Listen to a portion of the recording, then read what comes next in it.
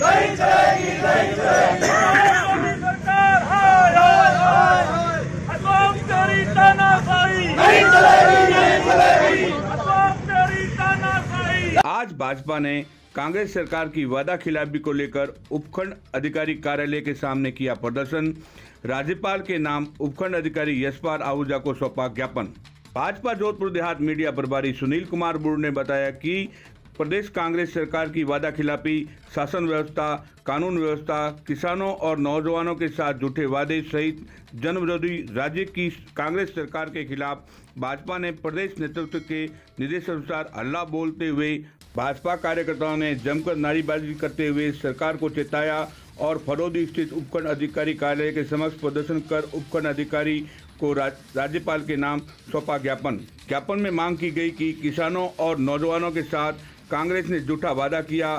सरकार गुटबाजी की भेंट चढ़कर अपनी ज़िम्मेदारी को भूल चुकी है।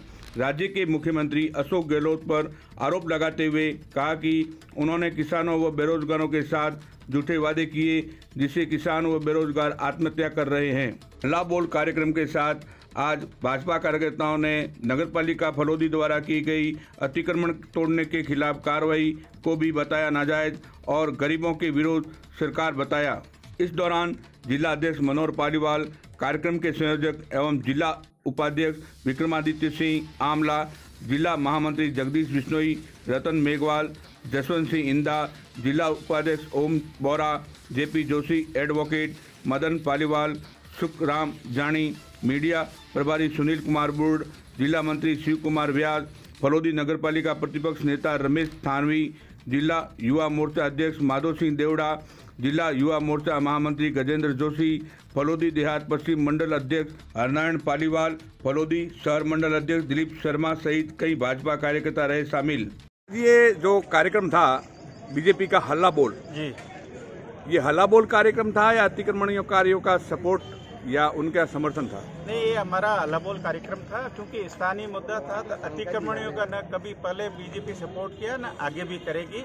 लेकिन जिस तरीके से अतिक्रमण हटाया गया था वो तरीके के संदर्भ में हमने एसडीएम साहब से इस संदर्भ में बात की। तरीका आपको कौन सा उचित लगा और कौन सा अनुचित? नहीं उचित उचित तो एक मानवीय दृष्टिकोण से और संविधान के अंतर्गत अतिक्रमी है तो उसको एक नोटिस दिया जाता है और यहाँ तक यहाँ पे जो जानकारी है, जैसे वो एंटी नेशनलिस्ट के तरीके से रात को आप अचानक जाके या सुबह है सिर्फ़ कागजों में नोटिस देके, अगर हमने पूछा तो किसी को भी नोटिस नहीं दिया गया था, पहली बात। दूसरी बात है कि एक अपने कहाँ पे भी हिंदू संस्कृति की बात करें, हिंदू संस्कृति की हो सकता है कि भारत में बात करना भी बेनामी हो, आज के जिस या इस राज्य सरकार के हैं वो हम आशा भी नहीं करते हैं लेकिन कम से कम अगर शिवरात्रि के दिन जो धार्मिक पर्व है कि उस दिन के बाद में भी अगर तीन सौ चौंसठ दिन है उसमें भी तो ये कार्रवाई हो सकती थी एक दिन बाद में भी हो सकती थी। ऐसी क्या कि इसी दिन आपने ये चुना?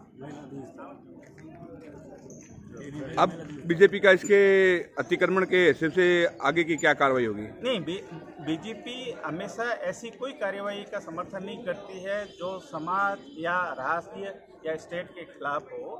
लेकिन हम जो तरीका है अतिक्रमी इनको हटाया है तो बाकी पड़ोसी में या जोधपुर में अगर मैं जोधपुर के हिसाब से बात करूँ सभी जगह ये अगर समान रूप से हटे तो इनका भी हटे। बस अतिक्रमण का मुद्दा तो पूरे देश में है सर। बिल्कुल है देश में। तो बीजेपी क्या पूरे देश में अतिक्रमण का मुद्दा उठाएगी? नहीं नहीं नहीं पूरे देश में अगर स्थानीय स्तर पे कोई मुद्दे होते हैं तो क्यों नहीं उठेंगे?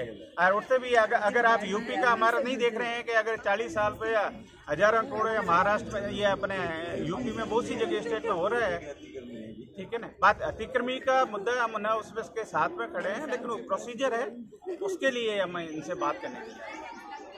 जोधपुर डिस्कॉम के फलोदी ग्रामीण जिन कृषि उपभोक्ताओं के पचास हज़ार से अधिक बिजली का बिल बकाया है, उनके डिस्कॉम द्वारा ट्रांसफार्मर उतारे जा रहे हैं। इसी क्रम में तीन डड्डू से, दो सांवरी से व दो मडला से कुल सात ट्रांसफ़र उतारे गए।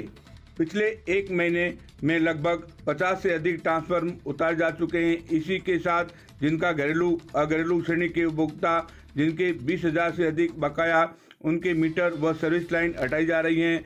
पाँच हज़ार से अधिक के कनेक्शन कटे जा रहे हैं। बीस से अधिक कनेक्शन मीटर सर्विस लाइन हटाई गई, पचास कनेक्शन काटे गए। जहाँ उपभोक्ताओं विरोध करता है, वहाँ आवश्यक पड़ने पर पुलिस का भी सहयोग लिया जा रहा है। उपभोक्ताओं को डिस्कॉम द्वारा अपील की जा रही है। जिनका बिल बकाया है, वो समय पर बिल जमा करवा दें, जिससे अनावश्यक परेशानी से बचा जा सके। यह जानकारी डिस्कॉम के सहायक अभियंता धनराज लटियाल के निर्देश से इंजीनियरिंग सुपरवाइजर कर्ण सिंह ने दी जानकारी। गवर्नमेंट मज़ा नहीं करो तो।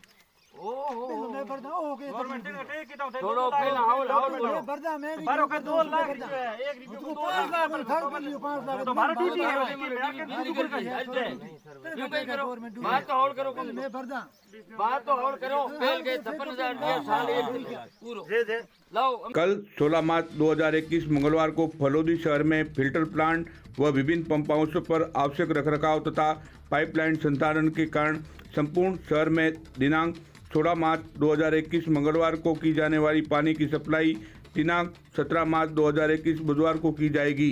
यह जानकारी संजय माथुर अधिशासी अभियंता, जल स्वास्थ्य अभियंता विभाग खंड फड़ोदी द्वारा दी गई। जलदाय विभाग की ओर से नागरिकों से निवेदन किया गया कि आगामी ग्रीष्म ऋतु के कारण 70 दिनों की प्रस्तावित नहरबंदी के कारण जल भंडारण किया जाना है। अतः जल को व्यर्थ बर्बाद न करें, जल को संग्रहित करें।